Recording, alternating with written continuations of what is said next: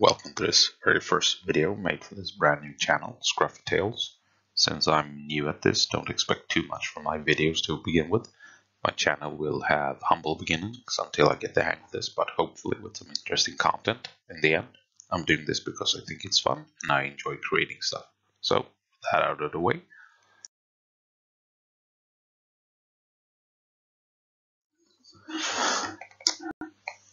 Today we're going to take a closer look at the Swedish-made infantry fighting vehicle known as the CV-90 and the reason is the announcement made by Sweden to send 51 CV-90s to Ukraine to help in the war against the Russian invaders. With that announcement, we have seen several videos pop up on YouTube, often with a robot voice, often stating only boring facts about speed, troop capacity and so forth. Uh, so I figured I would try and do my own video on the CV-90 and explore what it might actually bring to the battlefields of Ukraine. We will look at its armament, the history behind the vehicle, and the doctrine it was specifically designed to operate within, and the overall capabilities of the CV-90. And we will also take a look at how it compares to some other IFVs.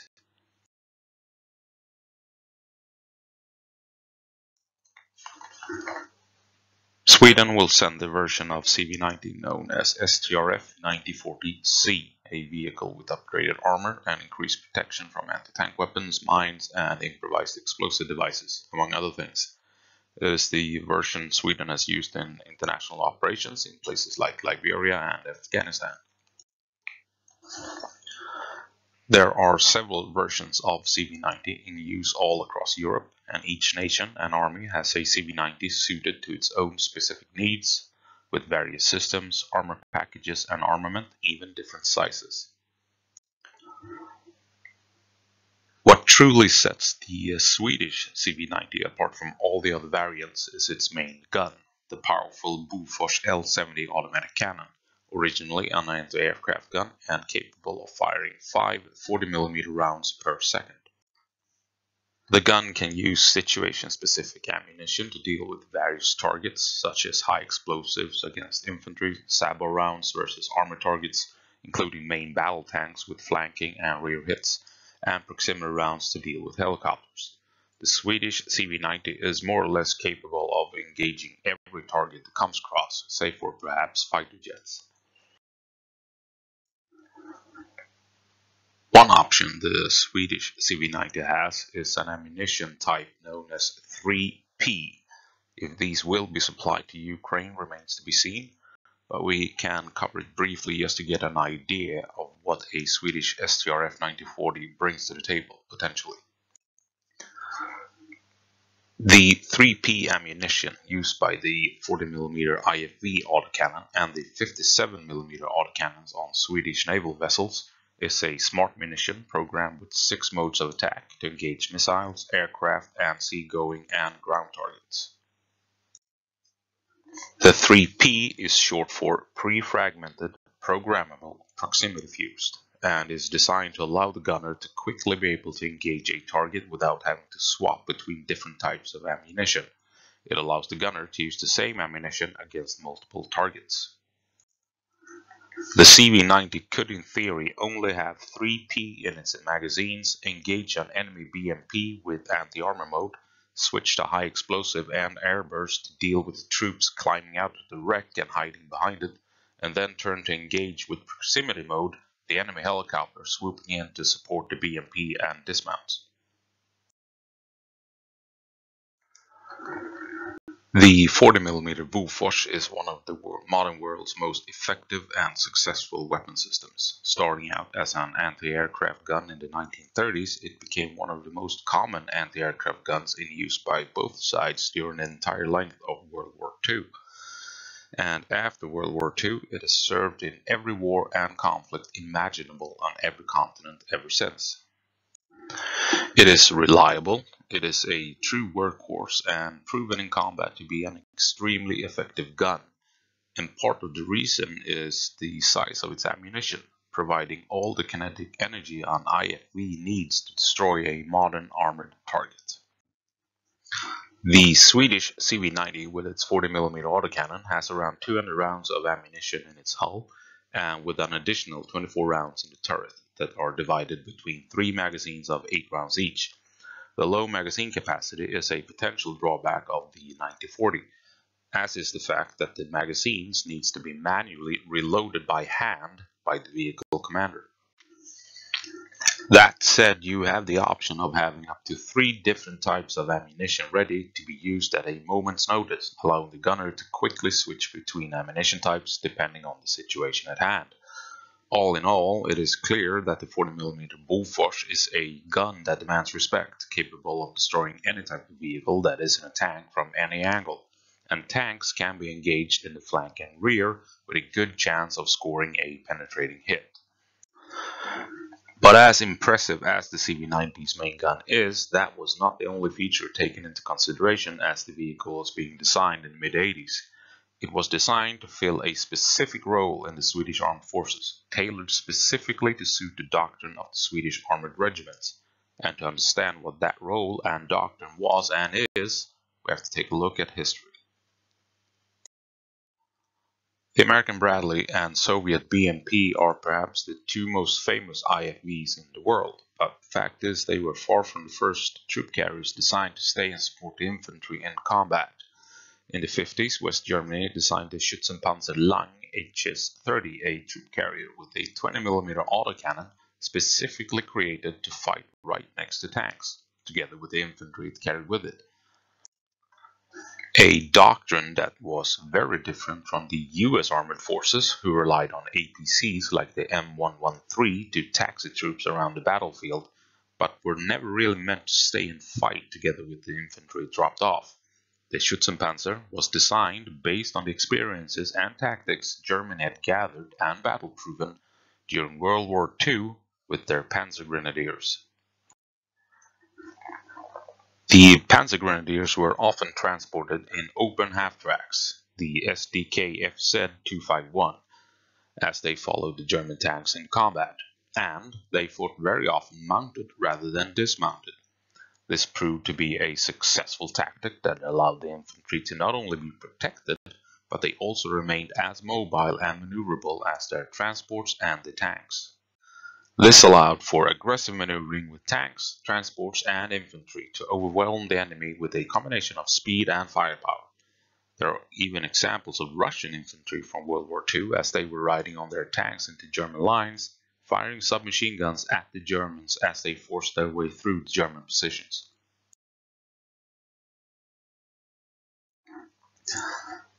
The effectiveness of these tactics did not go unnoticed in Sweden and were soon adopted by the Swedish armored units.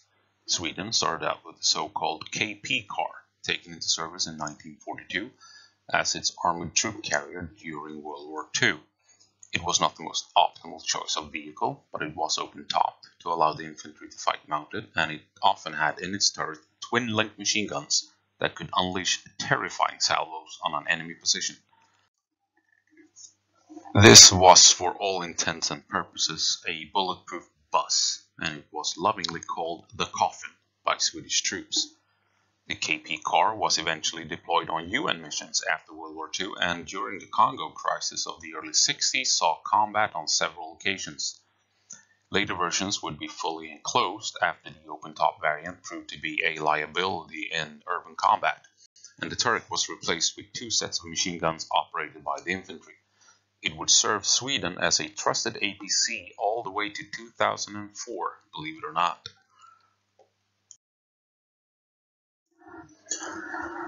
The shortcomings of the KP car eventually led to the development of a new troop transport in the 50s as Sweden saw the need for a more potent vehicle. Sweden went on to modify its fleet of M41 light tanks, turning them all into the early APC variant known as PBV 301 taken into service in 1962, four years after the Schützenpanzer and five years ahead of the Soviet BMP-1. The 301 was a small tracked vehicle that allowed its troops to fight mounted from hatches, just as the German Schützenpanzer. Having removed the turret of the tank, it was now armed with a 20mm autocannon that was reused from fighter jets and could transport seven soldiers and had a crew of three Both the Schützenpanzer and the 301 took the concept of the Panzer Grenadiers to the next level with a powerful autocannon that allowed both vehicles to engage all targets short of tanks. By being fully tracked, they could follow the tanks all across the battlefield. The hatches offered full protection from incoming fire when they were closed, and when opened allowed the infantry to actively support the vehicle without the need to dismount to be effective. Now, both these vehicles rely on hatches to allow the infantry to fight from the vehicle. But what about gun ports? Well, they didn't have them. You might have seen some videos that point out that the CV90 does not have gun ports, which would be a downside. That does depend on the situation, which shouldn't come as a surprise. If fighting in an NBC environment, if nuclear, biological, or chemical warheads have been used, then gun ports are indeed required to allow the infantry to fight safely from the vehicle, but not without issues. Gun ports and periscopes offer little chance of, of actually spotting and hitting an enemy. Your field of fire and line of sight is limited. All your gunfire takes place inside of the vehicle, requiring additional venting systems to remove all the dangerous gases and smoke. And, perhaps more importantly, each gun port is literally a hole straight through your side armor, a weak point where the vehicle has little to no protection from incoming heavier rounds. Therefore, it is no surprise that gun ports have been abandoned as a concept for decades. For instance, the first versions of the Bradley did come with gun ports, but they have since been discarded for additional armor. So, while hatches are indeed riskier in terms of overall protection for the infantry when they are open, they do provide better armor to flanking hits, and the infantry can fire freely and can look around freely for enemies. And if you are in an NBC environment, you simply have to keep your hatches closed to keep the vehicle sealed and safe. The Soviet BMP-1 was designed with both gun ports and hatches and taken into service in 1967, but the hatches were more used as exit points than to shoot from.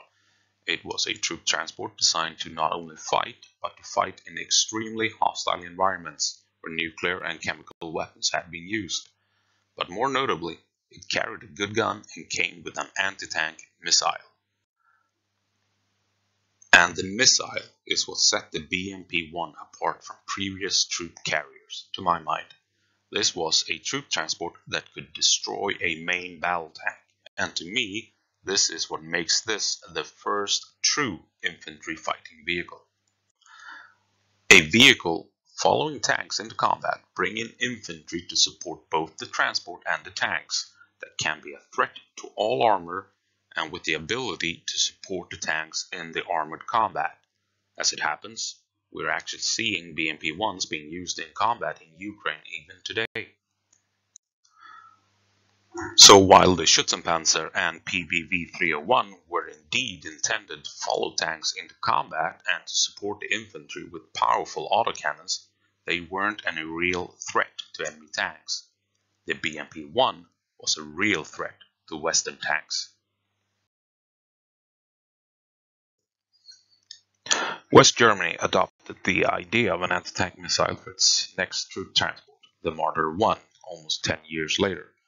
Initially, the Marder 1 also included gun ports, but like with the Bradley, they were later removed. Funnily enough, these old vehicles, taken into service in 1971, will be deployed to Ukraine shortly as well. And of course, in 1981, the Bradley entered into service, it too with anti-tank missiles and as we all know, the Bradley is another vehicle we will see in Ukraine. In 1987, the UK introduced the Warrior family of vehicles, officially classified as an IFV, but it isn't any real threat to tanks with its 30mm autocannon, an autocannon relying on two magazines of only three rounds each. How this vehicle is intended to support infantry in an ongoing firefight with only six available rounds at most at any one time is a bit of a mystery to me. And to me it screams heavy APC rather than being a proper IFV. If you thought the CV90 was in trouble with 24 rounds ready at any one time, imagine only having 6 in the Warrior. That said, some warriors were upgraded with Milan ATGMs during the Gulf War, giving the vehicles much needed anti-tank capability. Sweden did not, however, add a missile to its next uh, troop carrier. The PBV-302 was taken into service in 1966, a year before the BMP-1 was revealed in 1967. The 302 was in part based on the American M113, but domestically designed and built. Features of the M113 that suited Swedish requirements were kept, but most notably armor and off-road capability needed a Swedish touch and redesign. It was outfitted with the same 20mm autocannon used by the PBV-301, had a crew of three and could transport up to eight soldiers. It was designed to keep up with the newly adopted tank, the famous STRV-103, had excellent mobility in rough terrain and good protection from incoming fire and artillery, and, naturally, had hatches that allowed troops to fight mounted if needed.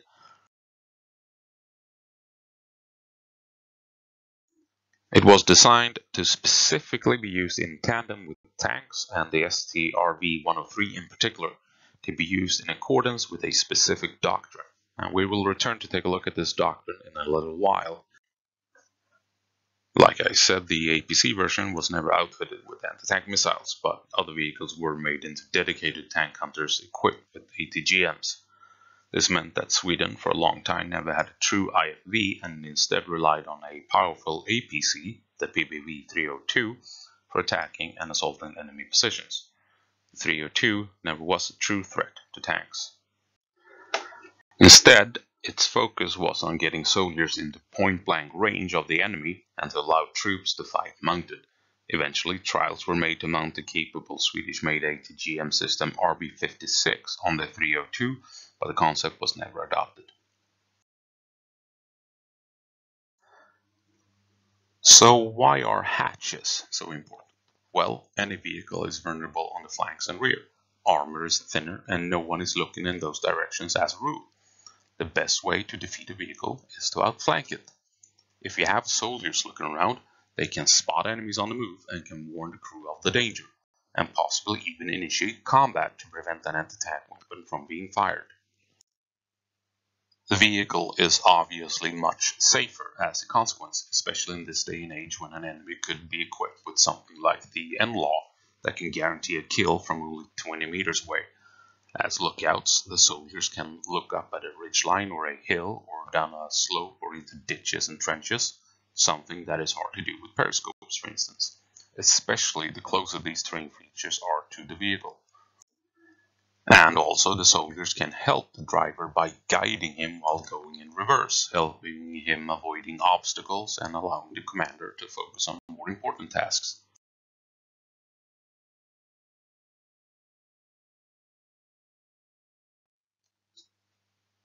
The other option the troops have to protect the vehicle is to dismount and step outside and spread out. This is a fully reasonable way of doing things and a proven tactic, so don't get me wrong. But if a need arises that requires quick redeployment, then the vehicle has to wait for every soldier to receive the orders to move, wait for a squad to run back and climb back inside before being able to get moving. You are slowed down, you are slow to react, and it could potentially get you killed. Clearly, Having hatches allows for options that makes the vehicle faster to respond to changes on the battlefield.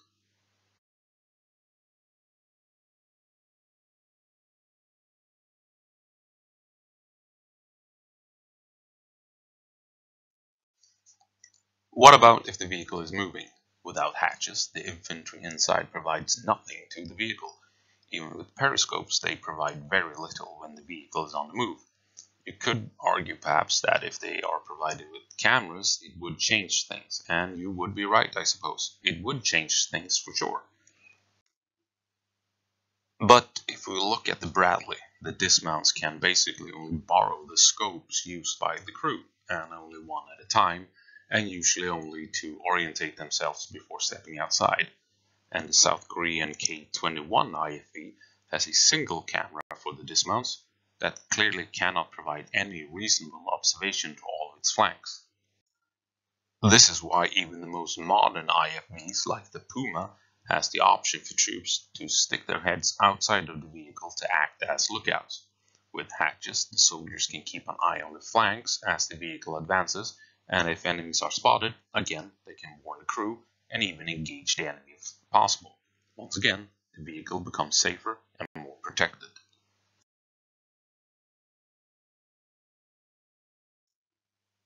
So, what about the attack? What can hatches provide during an assault? Or if the lookouts spot an enemy and the transport goes on the offense, what can be done from the hatches? Well, for starters, the same rules apply to the attack as for using the troops as lookouts. Vehicles are vulnerable on the flanks and mounted infantry can provide protection and security as the vehicle advances upon an enemy held position. It also doesn't automatically slow things down to a walk or reduce the vehicle to a support platform. Now, don't get me wrong, dismounting your troops is a good option when done in the right situation and is absolutely essential. But what if it isn't the right situation? Being only able to fight dismounted slows down combat and reduces the effectiveness of the vehicle, but also the effectiveness of the infantry. You lose tactical flexibility without the option of relying on both dismounted and mounted combat. Fighting from the hatches provides excellent protection from enemy rifles and machine guns, even protection from shrapnel and explosions and you do not expose yourself to incoming fire by having to move from cover to cover as you advance. Your cover, superior cover at that compared to trees and brick walls, advances with you, always keeping you safe. Obviously, firing your weapon as the vehicle is moving at speed reduces accuracy by quite a lot. While on the move, you are mainly looking to suppress the enemy, unless you're going really slow. All in all, suppressing or shooting to kill, either way you make it difficult for an enemy equipped with an anti-tank weapon, or any weapon for that matter, to take his shot. Usually when talking about mounted combat and hatches with random people online, you know the type, and I'm probably one of them, people like to point out that it somehow is ludicrous, that it doesn't work, and that it only means the soldiers will die inside the vehicle instead of outside. I remember this one guy in particular over at the uh, Shediversity Discord of all places, who called me a layman as I described Western doctrine surrounding armored assaults. To this day, I still think it's one of the best replies I've received while discussing this topic. And to be honest, it's not entirely untrue, I guess. Anyway, consider that if you don't have hatches, then the soldiers can potentially spot a flanking enemy. They can potentially engage and suppress a flanking enemy with an anti-tank weapon. It means the enemy will almost always be able to take that flanking shot, which means you end up with dead soldiers and a dead crew.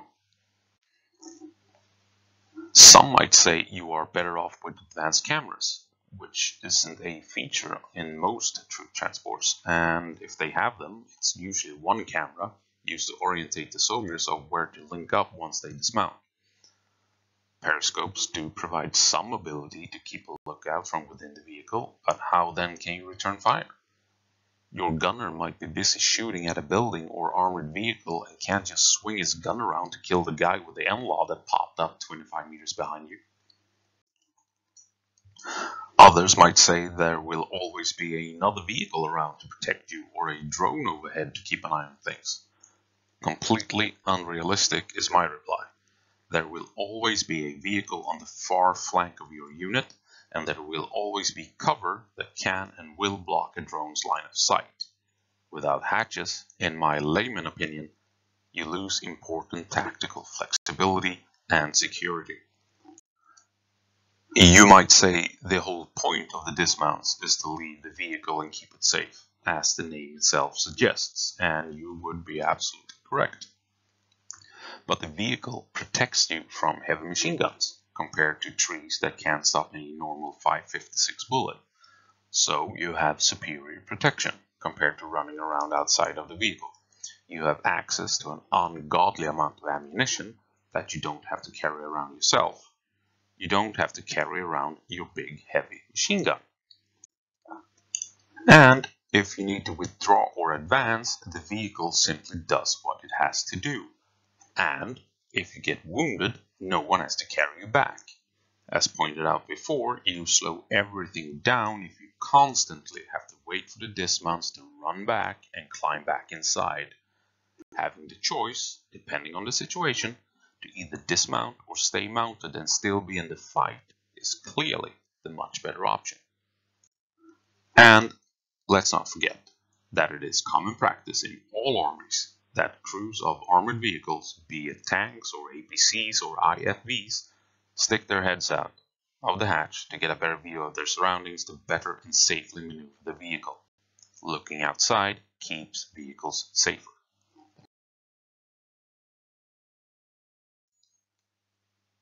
So, let us take a look at Swedish armored doctrine from the Cold War and the tactics on how to use the mechanized infantry in an attack more specifically the armored infantry, in Swedish known as Pansarskytte, and how they together with the PBV 302 would form the heavy shock troops of the Swedish army. As shock troops, armored infantry relied on two main ways to attack a position in force. The first choice was the standard dismounted attack with 302 in support, pushing into the enemy position on foot and driving him from the battlefield. Having tanks in close support right next to the infantry during such a push was a common option to increase the firepower of the assault. The idea being that you aimed so much firepower downrange at the enemy that they would not dare come out of cover to shoot back, allowing the armored infantry to get into point-blank range to clear out foxholes, trenches, and other enemy positions with grenades, bayonets, and full auto bursts. Having a couple of squads still mounted and ready in the hatches provided support and the ability to quickly respond to an unforeseen situation.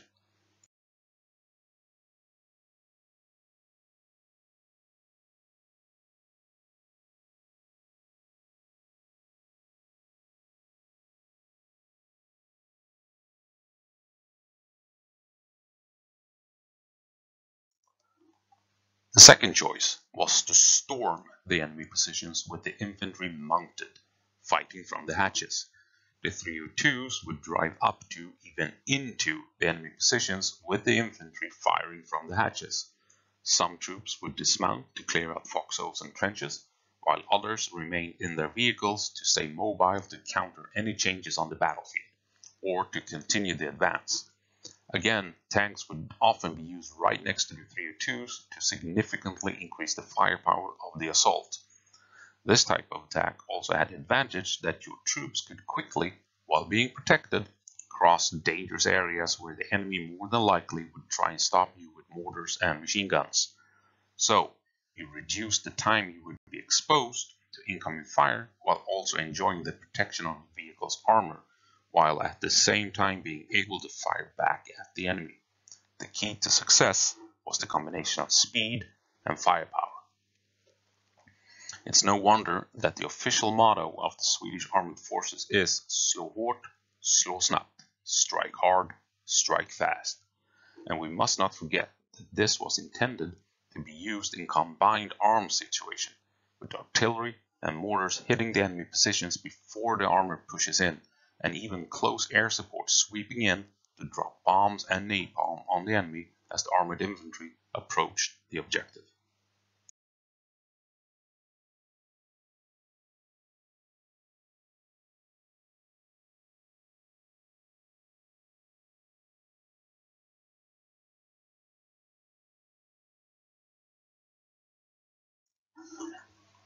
As you can tell, the Swedish doctrine of mounted combat, copied from the playbook of the German Panzer Grenadiers of World War II, allows for aggressive maneuvering, rapid assaults, and massive concentration of firepower.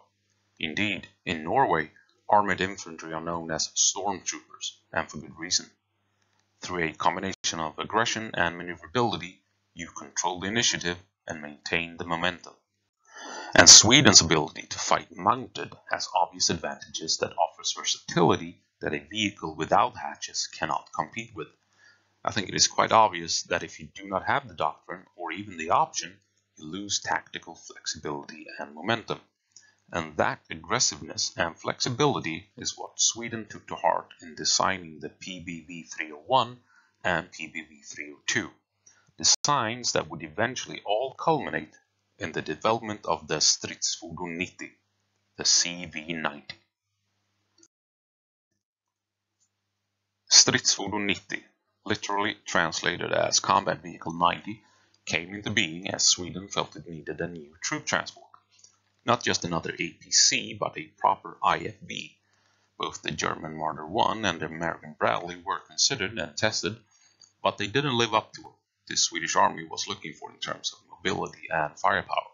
A completely new domestic vehicle had to be designed. Excellent mobility, capable armor, and a gun the crew could depend upon became cornerstones during the development process. Considering how powerful the 40mm Bofors gun would turn out to be when mounted on an IFV, it is interesting to note that a 57mm automatic cannon was considered at one point.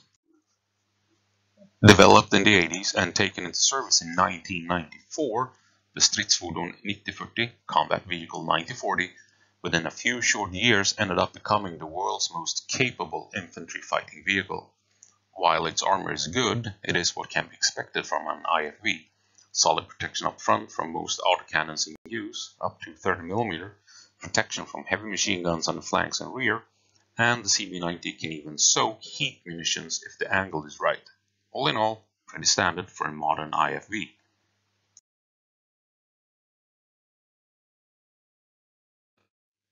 But mobility is where the CV90 excels, and it can cross difficult terrain like few other armored vehicles, designed to operate in the Swedish Arctic region with deep snow during winter and wet marshes during the summer.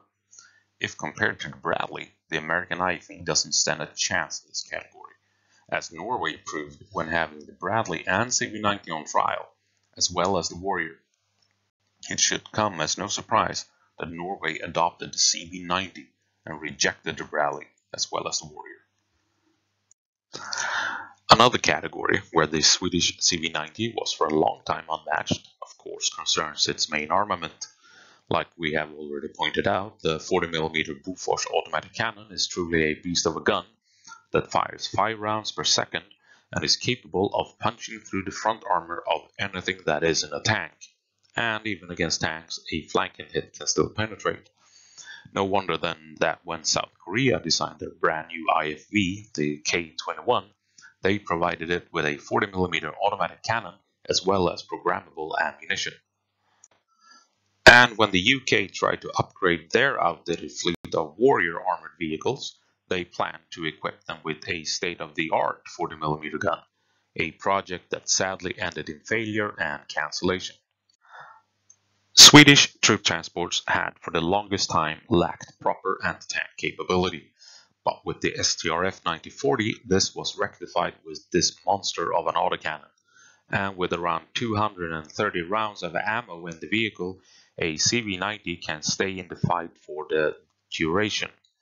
With the CV-940, the concept of the Panzer Grenadiers from World War II had reached new heights in performance and aggression.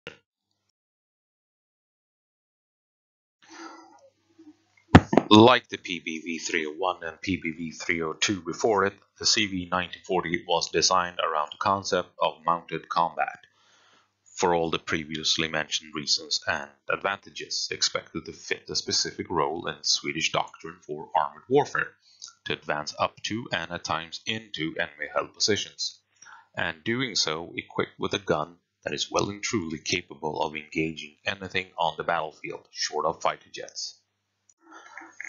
The 40mm Bofors also provides a few advantages over anti-tank missiles when engaging heavy armor.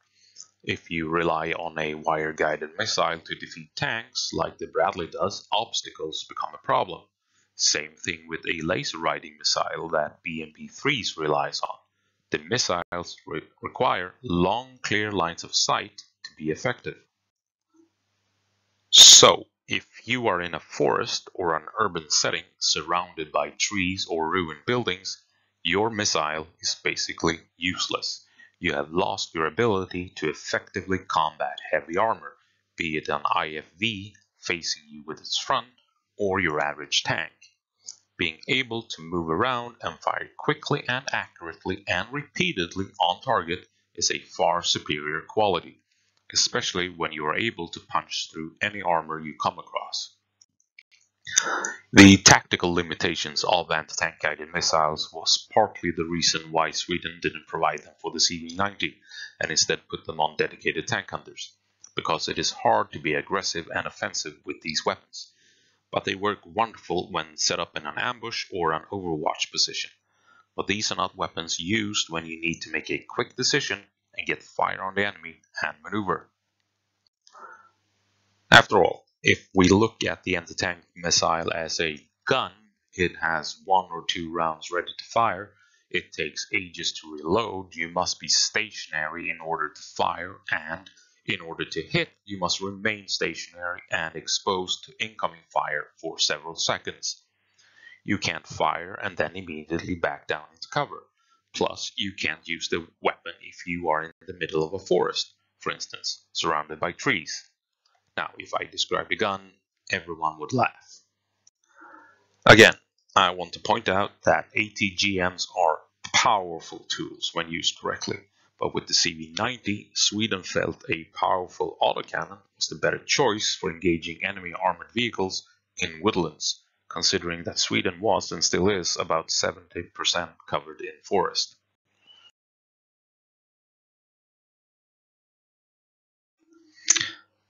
It, of course, did not stop with the STRF 9040. The basic concept of the CV90 would go on to be proven to be a reliable design that could be modified to suit very specific needs and requirements. Simply by switching out the turret and redesigning the troop compartment, a CV-90 can do whatever you want it to do. It is currently in service in seven armies across Europe, with two more waiting for deliveries, each version tailored to suit each country's needs and requirements. And as I'm writing this, I have seen reports that Italy might become the 10th nation to field the CV-90 and with Ukraine we would be up to 11. The CV-90 is fast becoming Europe's number one choice for its mechanized and armored forces. Some CV-90s have a 30mm gun, others a 35mm gun. The Czech Republic has put in an order for a completely unique chassis, for instance. This vehicle can be made into whatever you want it or need it to be, Sweden relies on a number of variants, for instance, the LV-KV-90 with its radar is designed to be an SPAAG, a self-propelled anti-aircraft gun.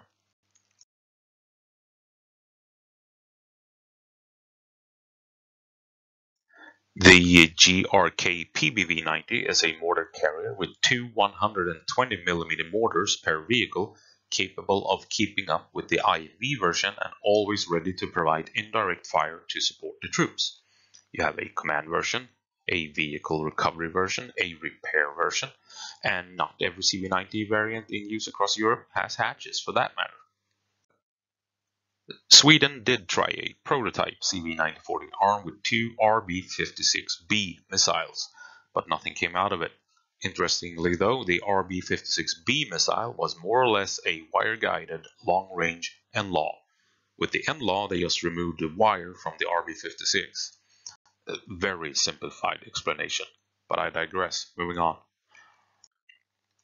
Beyond that, there are several versions available not yet in service, such as the pure APC version without the turret.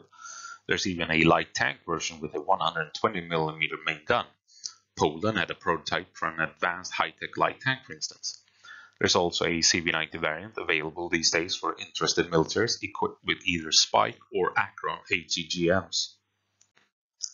The Akeron is interesting, since it will most likely become Sweden's next ATGM system in a couple of years, so that it is now only recently made available to the CV90 platform makes you wonder if Sweden will have CV90s with ATGMs in the near future. The Akeron, considered by many as the most advanced ATGM currently available, has also been provided to Ukraine, so it will be properly tested in wartime conditions. So how might Ukraine use the CV9040? I'm guessing that as they get trained on using them, they might also be introduced to Western tactics and Swedish tactics and doctrine. The CV9040 was, after all, designed to be a specific cog in the Swedish army. A common choice for Swedish commanders is to team, team up two platoons of CV90s with one platoon of tanks, or two single CV90s with a single tank, and vice versa. This is a very Western approach and it gives the CV90 some heavy-hitting firepower and support. A proper assault is also committed with mortars. These days Sweden relies on the GRK PBV-90 to provide mortar support. The CV-90 with twin-link 120mm mortars in its turret that we mentioned earlier. If four such mortar carriers three tanks, and six CV-9040s all aim their firepower at the same enemy-held location. That's a lot of high explosives detonating around the heads of the enemy, which allows for the CV-90s to advance up to and into the enemy position. Here, just as with the older PBV-302s, you now have the option of fighting mounted or dismounted. Just imagine getting shelled by eight 120mm mortars three tanks, and six 40mm autocannons. And then, as the explosions stop, you hear engines rumbling, and six CV-90s come charging at you only seconds after the echoes of the explosions fade, and angry soldiers with machine guns start firing as the vehicles roll straight up to your positions, and then they dismount and assault your trenches. It seems like tactics that Ukrainians would favor.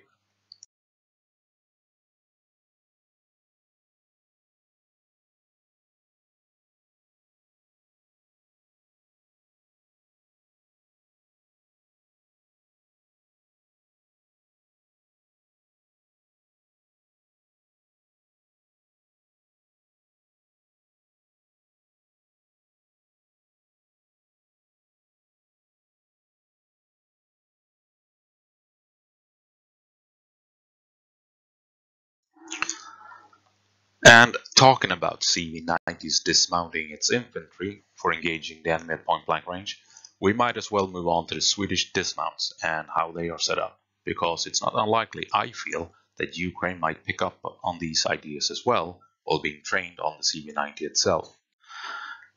The Swedish dismount squad of the CV-90 is a six-man team. That means 18 guys in total for the platoon.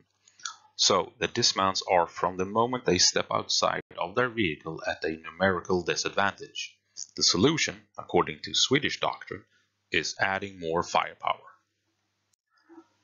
When I did my conscription as a CV-90 dismount squad leader, the squad brought with them two AK-5B marksman rifles and two AT-4s carried by the squad leader and fire team leader, then we had two FN MAG medium machine guns, known as KSP-58 in Sweden and M240 in the United States. No designated loaders, the gunners carried all their ammo and forced the rest of us to carry even more. And lastly, we had the two riflemen of the Carl Gustav crew, GRG in Swedish, MAAWS in the US, Charlie G in some places, but perhaps, perhaps the best name is the Norwegian one, RFK, recoil-free cannon an 84mm reloadable launcher capable of firing a full host of various rounds, including anti-armor, smoke, flares, high explosive, and even airburst to name but a few. A very versatile and powerful weapon that has had great success in Ukraine against Russian invaders. That means 18 soldiers on foot with three 40mm autocannons, 9 machine guns when we include the machine guns on the CV-90, 6 marksman rifles, 6 AT-4s and 3 Carl Gustaf recoilless rifles. That is a lot of firepower for very few soldiers, and you understand why armored infantry was, and still is, used as heavy shock troops. Moving on to more recent years, I know that the AK-5B marksman rifle has been replaced by an AK-5C equipped with an underslung M203 grenade launcher, swapping some extra aim for extra firepower. The two FN mags have been replaced with SAWs, KSP-90 in Sweden, which allows for more ammunition per carried kilogram and a lighter and easier to handle weapon, swapping firepower for more ammunition and mobility. However, one FN mag is still kept in the vehicle for added firepower when required. The Carl Gustaf launcher is still in the toolbox with a crew of two. Compared to when I did conscription a bit over 20 years ago, the modern dismount squad has several options depending on the situation. For instance, the leaders of the squad don't usually carry AT-4s now that they carry 40mm grenades for their launchers, but it is still an option if or when needed. The two soldiers of the Carl Gustav crew might carry AT-4s instead of the Gustav if it is the smarter choice. You also have the option to bring the FN mag, as pointed out earlier. Another option is to bring an AK-4D marksman rifle. And lastly, and perhaps most importantly, the squad can bring with them RB-57s, internationally known as NLAW, one of the most capable tank-killing weapons in Ukraine. The NLAW provides the squad with incredible tank-killing capability, even without the 40mm Bofors on the CV-90, capable of punching through a tank's armor from above, all but guaranteeing a kill. No small feat for an ordinary soldier to possess when going up against tanks that have reigned supreme on the battlefield for a century. The Swedish doctrine also includes a platoon commander on foot of sorts in charge of the troops once dismounted. This role is called Närstridsledare, the close combat leader. This allows the infantry and vehicles to operate independently away from each other and the platoon commander can focus on the vehicles while the close combat leader takes, takes charge of the dismounts. The concept of the armored infantry has remained the same from the 60s to my service to this day. Overwhelming firepower, aggression, and charging the enemy into point-blank range with heavily armed infantry fighting closely together with armored vehicles and tanks, supported by mortars, striking enemy positions up until the armored infantry and the transports crash into the enemy lines. And this is what the CV-9040 was designed for. It was tailor-made for this doctrine and this sort of combat, these sort of maneuvers. Firepower, aggression, and mobility. You could say that the armored infantry are the knights of the modern age, fully armored warriors charging the enemy while mounted on armored steeds closing in to point-blank range for a decisive, hard-hitting blow. And I think this will suit Ukraine very well, this concept and doctrine. We will see if they adopt it in full or partially, or at all for that matter. A small perk with the CV90 that I haven't touched on yet, that I think will be appreciated by Ukraine, is the fact that the CV90 can hold a number of anti-tank mines. This means you can rely on your CV90s and their dismounts to dig in quite heavily if you order them to, or to slow down an enemy if you are forced to fall back. Obviously, you can put mines into any vehicle, but the CV90 comes with built-in storage for them, so the mines won't steal space from anything else.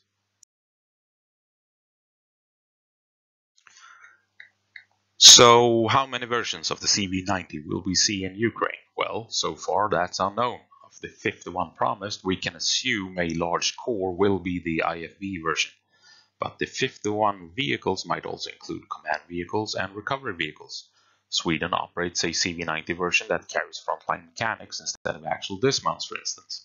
That might even include the mortar carrier mentioned earlier, although I feel this is not very likely. And then there's the anti-aircraft version, the LVKV-90, equipped with a radar to protect an armored battalion from aerial threats. And the interesting part is that, as far as I understand it, most of these exist as C versions. And it is the C versions that have been promised to be delivered to Ukraine. So my guess is that we will see a full mechanized battalion of various CV-90 vehicles, all with the C upgrades, including IFVs, anti-air, command, forward observers, and recovery vehicles.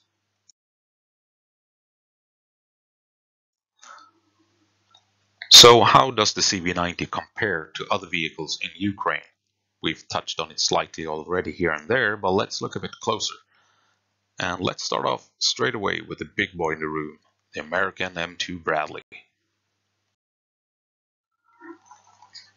The Bradley has, as I see it, only one real advantage, the TOW launchers. While its 25mm gun demands respect with its depleted uranium rounds, it is unknown if Ukraine will receive these, or if Ukraine even wants them, considering the horrendous side effects as this ammunition is radioactive and toxic by nature and could potentially harm the Ukrainian civilian population and the environment in Ukraine for years to come, as we've already seen happen in Iraq after two US invasions.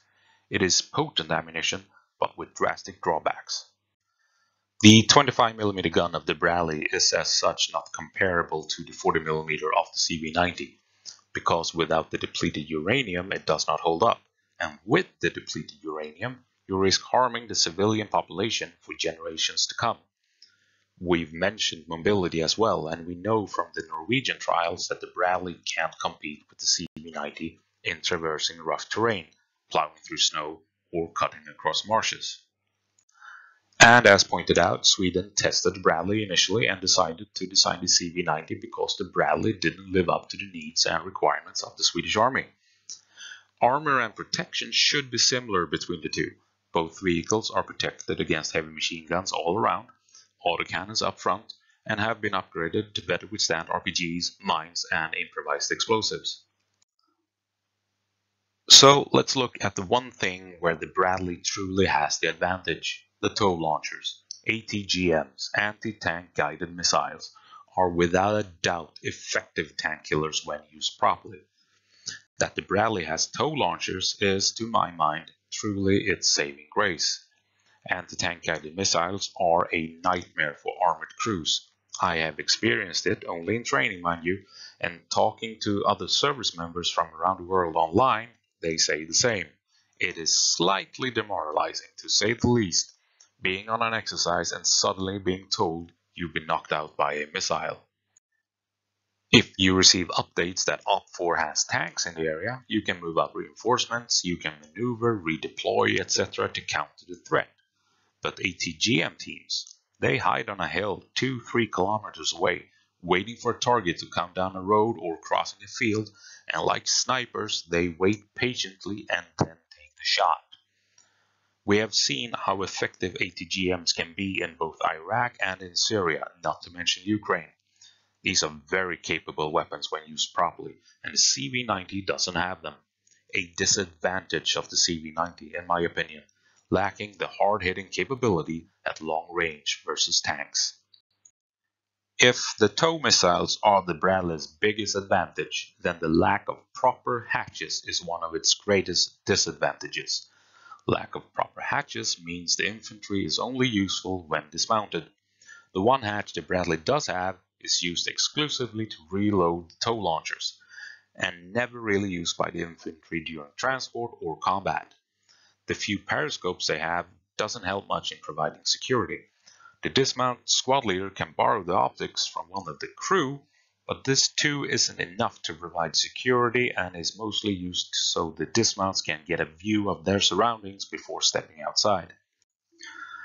The only way that the Bradley can truly make use of its dismounts is if everything is reduced to walking speed.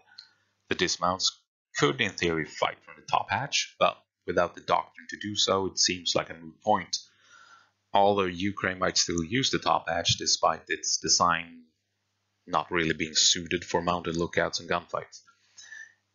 If they don't, as a consequence, the Bradley can never make quick decisions unless the dismounts are locked away inside the vehicle and unable to provide any assistance at all.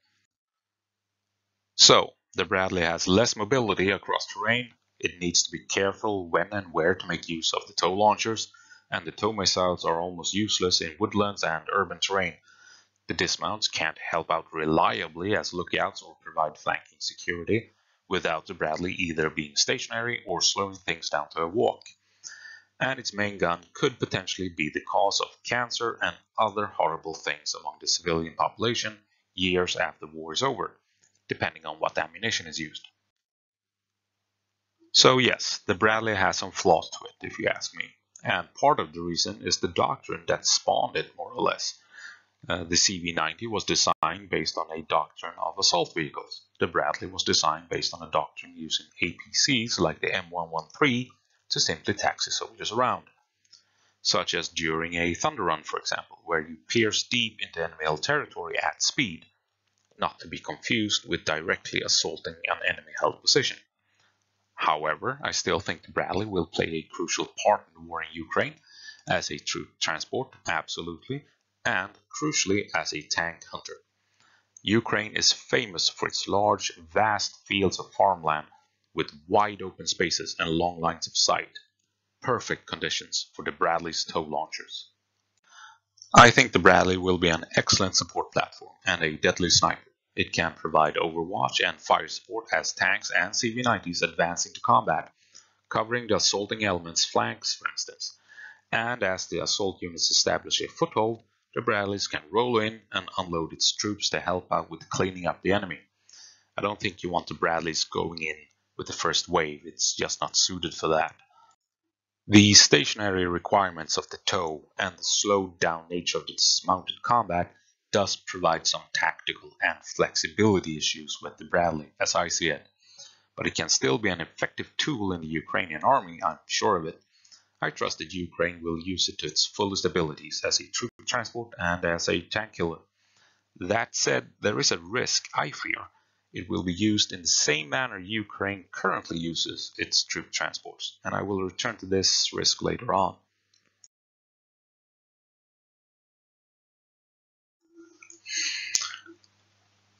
Another vehicle that has been highlighted is the German Marder 1, not to be confused with the Marder tank destroyer used by Germany in World War II. The Bradley was taken into service in the early 80s and the Marder IFV in the early 70s the CV90 in the mid-90s.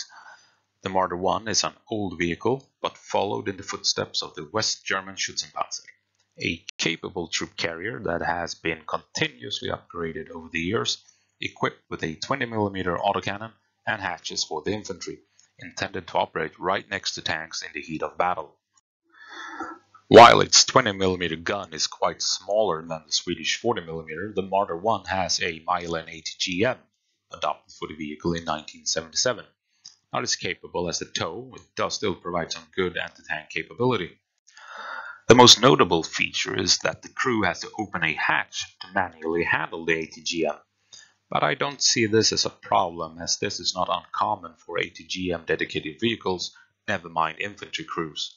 It makes the Marder 1, despite its age, a vehicle that deserves respect and in keeping with German tradition, it has the hatches that allows infantry to fight mounted. Not as powerful as the CV-90, it still has its ATGM and the choice of using its infantry mounted or dismounted. Like the Bradley, it can exploit the long fields of fire offered by Ukrainian farmland, and like the CV-90, it can enter dangerous areas and rely on its infantry act as lookouts and for providing security from the hatches, without slowing everything down to walking pace. Originally, it was specifically designed to fight alongside Leopard 1 tanks, of which a large number will also be deployed to Ukraine, but has been upgraded to fight alongside the modern Leopard 2 tanks. So, in terms of tactical flexibility, the Marder 1 excels, offering a little bit of both the Bradley and CV90. And with all the upgrades it has received over the years, it is a capable infantry fighting vehicle in its own right. All three vehicles, CV-90, Bradley and Marder 1, have been tested in combat, be it in Iraq or Afghanistan, and all three will definitely be considerable force multipliers for the Ukrainian army. The CV-9040 wants to be aggressive, it was designed to assault enemy positions head-on. A Bradley is more cautious, it wants to fight at range, slow things down, it can't rush into things. That said, the Bradley has engaged Soviet vehicles in two wars against Iraq, where it proved the excellence of the TOW ATGMs and the Bradley's ability as a tank hunter in favorable terrain. And the Marder 1 can do a bit of everything. It can set up an ambush with its ATGM, and it can push into an enemy position with troops still being useful from the hatches. When deployed to fight, relying on each vehicle's strength, I think we'll see a lot of unhappy Russians in Ukraine. With everything said, all three vehicles can still be used to approach an enemy location that is being hammered by mortars, keeping troops secure inside the vehicle, and then have them dismount anywhere between 0 to 50 meters from the enemy. They can all be used offensively if provided the proper support. If you don't use these vehicles offensively, you've reduced them to being very expensive APCs. But each vehicle has its strengths and weaknesses. The CV90 doesn't have ATGMs. The Bradley doesn't have proper hatches and isn't the best in rough terrain, reducing its flexibility. And the Marder 1 has the smallest gun and its ATGM is not as capable as the TOW on the Bradley.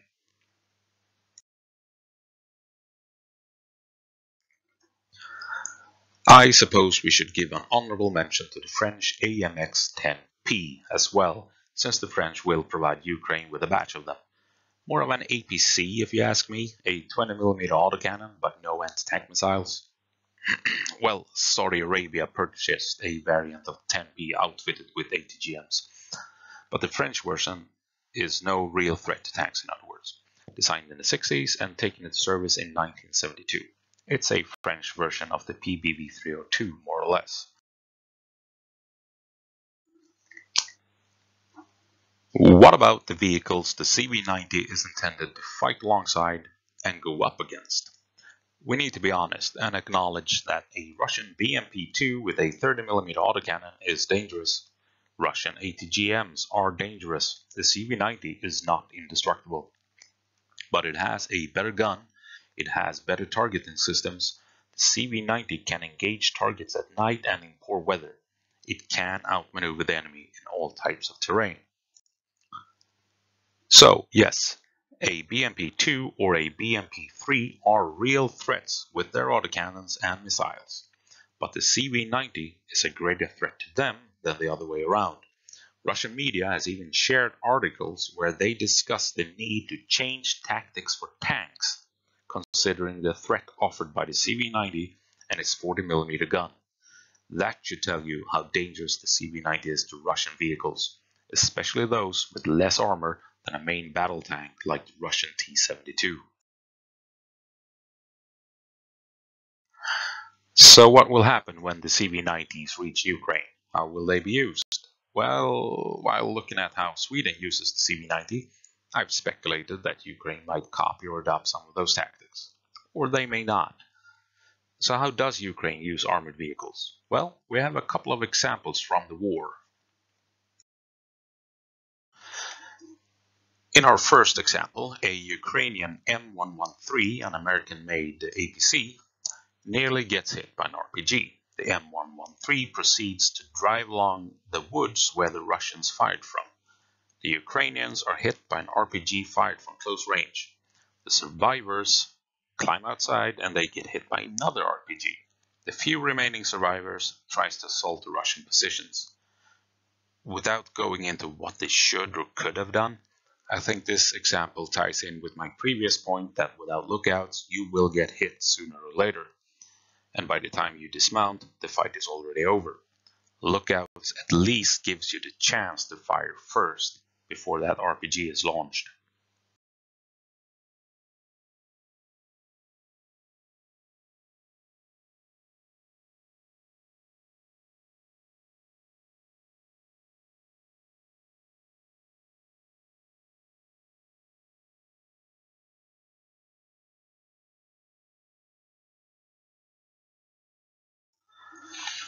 Our second example is a Ukrainian squad assaulting a Russian position with a BMP-1.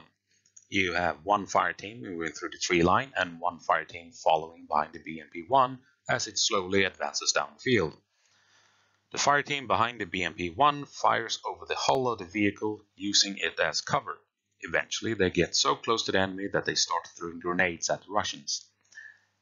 This is dangerous without factoring in enemies shooting at you. If the vehicle hits a mine, the soldiers are obviously casualties. If the vehicle has to quickly reverse out of a situation to avoid getting hit and destroyed, it will run over its own troops. Or it won't be able to avoid getting hit and destroyed because they are afraid of running over their friends. Obviously, with a CV-90, the fire team behind the BMP could have stood in the hatches protected by the armor of the vehicle, and fired at the enemy without the risk of getting run over by their own vehicle.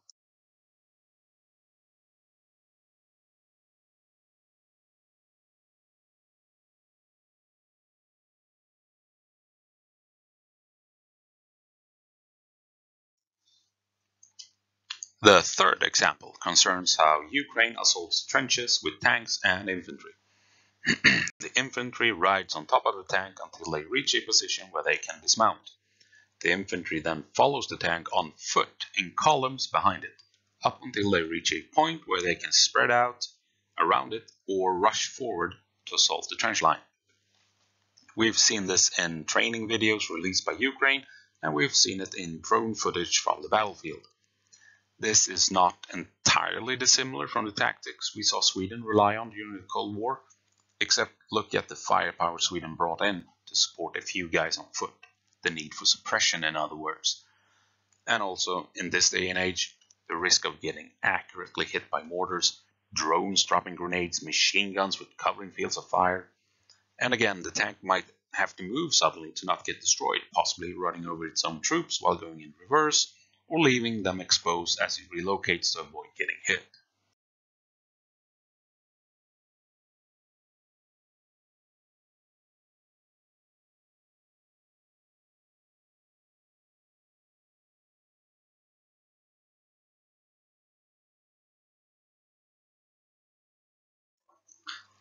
Quite recently we saw a video of Ukraine assaulting a forest with four M113s.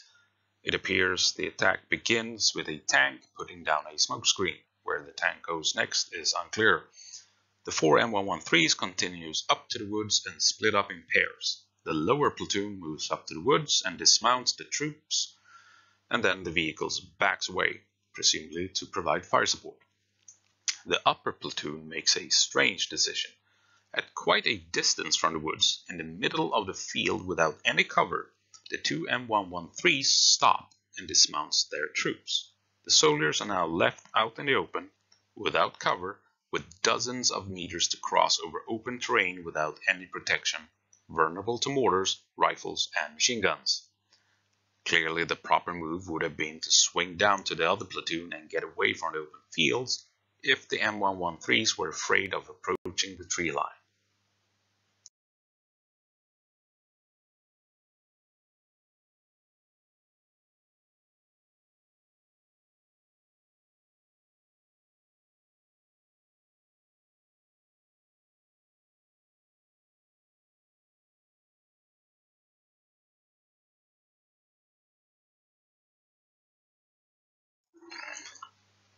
And this is the reason for the tactics surrounding using a troop transport to drive all the way up to and into the enemy position. You keep the soldiers safe from machine guns and you quickly cross the territory where the enemy can use indirect fire against you without hitting their own troops. And with hatches you can engage the enemy while being properly protected, moving at speed. Again, the option to fight mounted or dismounted becomes crucial.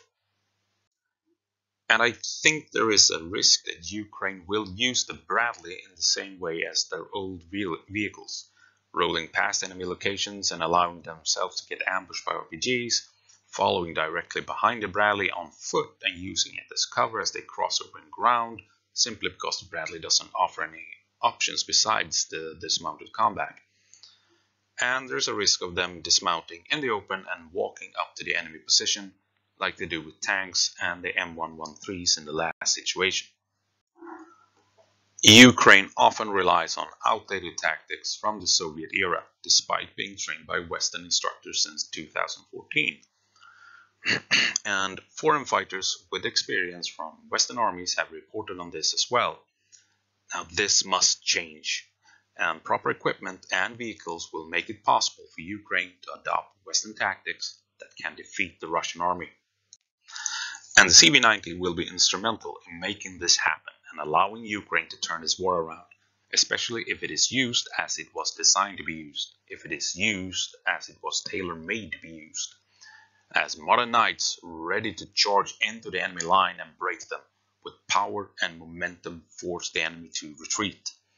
As one Swedish soldier so delicately described it to a reporter on how the CV-90 is supposed to be used against an enemy you storm the shit out of them.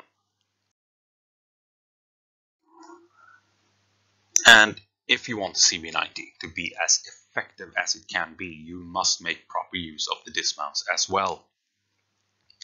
According to the YouTube channel Battle Order, an excellent channel by the way, so head on over there and support them, they make excellent content. A Ukrainian mechanized platoon has 21 dismounts, bringing 3 grenade launchers, 4 light machine guns, 1 medium machine gun, and 3 RPGs and 2 marksmen. Compared to the Swedish platoon of 18 troops with 6 grenade launchers, 6 light machine guns, 3 optional medium machine guns, 3 optional marksman rifles, 3 Carl Gustav launchers, 6 to 12 AT4s, plus a number of NLAWs. The Ukrainian platoon also only has one combat medic, while the Swedish one has one per squad, three in total. If Ukraine provides their CV-90 dismounts with the firepower they need and the options to use the weapons best suited for the specific situation, then the CV-90 and its dismounts will truly come into their own and be able to dominate on the battlefield. A doctrine of aggression, tactical flexibility, and maneuverability that is what the CV90 and the doctrine surrounding it can provide to Ukraine, and it would be a huge mistake for Ukraine to not exploit this advantage.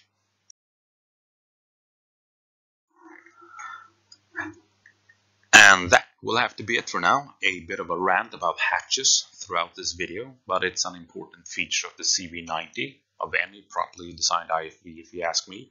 So I felt that the history and tactics surrounding hatches on IFVs required a bit of looking into.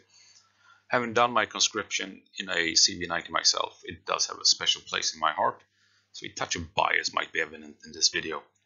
But overall, I think I've truthfully presented the positives and negatives of the CV90, as well as doing an okay job when briefly comparing it to the Bradley and Marder 1 and other vehicles it may come across in the Ukraine war. So that's it for now. See you in the next one. Go på marsch, Ukraine!